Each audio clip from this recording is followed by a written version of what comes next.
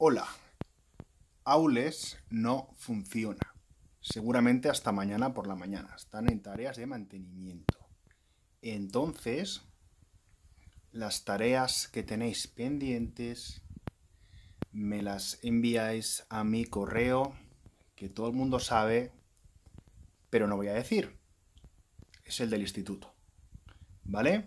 Si hay algún problema, me podéis escribir a ese correo que tampoco voy a decir. ¿Vale? O me podéis escribir por aquí.